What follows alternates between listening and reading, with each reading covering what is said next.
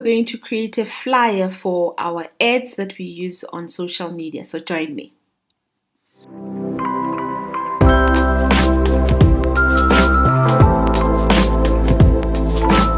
And content creators to African Multi Design, a channel dedicated to make your small business grow online.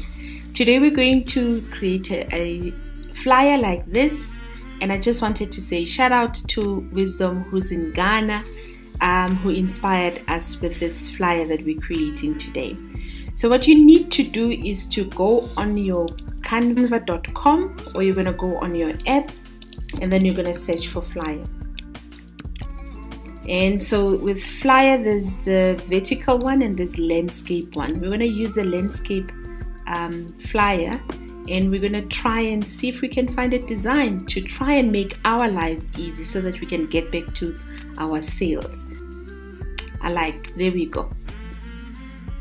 You scroll through until you find the one that you like, and this is a free version, so I'll just double click on it to access the, the flyer.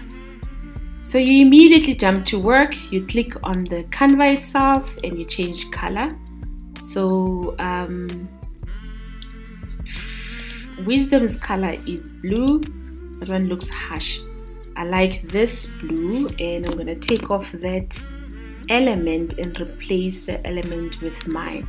So if I click on the section that says element, I'm looking for the plumber. So you just type plumber and you search for it.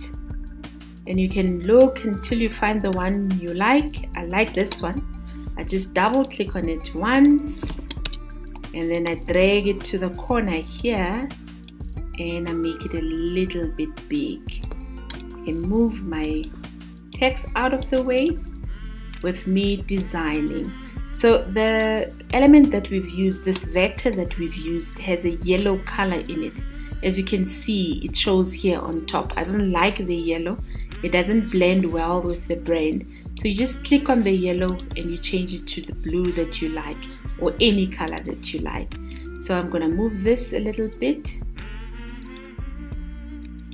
and I'm going to add text so that we can have the name of uh, Wisdom's company.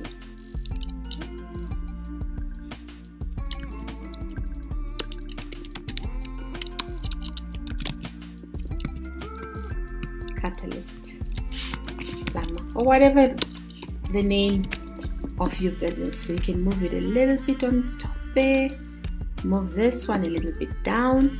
So you tweak it and you adjust it so that it suits your brand. I don't like open sans let's see this one is now bold. Let's make the text be the same font. We're gonna make it a little bit big cool. And then we change. 24 7 it's not COVID. On call. On call. And then I'm gonna put a call to action so that they know that he's available 27 and put his put his number on there. And you tweak it just like that. And that's how you create a flyer. This text I don't need I'm gonna delete this we're gonna change and we're gonna say he is in Accra Accra in Ghana. And we're to make the text a little bit bigger. See if we make it 56, that's too big. Make it 36, a little bit less. He's in Accra and he's in Ghana.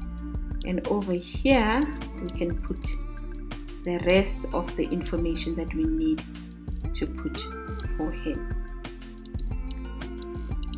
for his brand. So again, you double click when you want to change the text and you add the text as you wish. And don't forget to add a call to action um, that you want. So you can put in his your email address, you can put in your website, whatever information, but it shouldn't be crowded. It should be attractive when the customer looks at your flyer. And once you're done, you click on download they suggest you uh, print it as PDF if you're going to print but by all means you can use PDF we're going to use it on social media. So we're going to choose the PNG high quality. And you click on um, download. And then it's downloaded successfully. The last thing I want to show you is you can rename your uh, designs over there on top where you can call it this would be a plumber flyer. And that's how you create a flyer on a fly. Funny.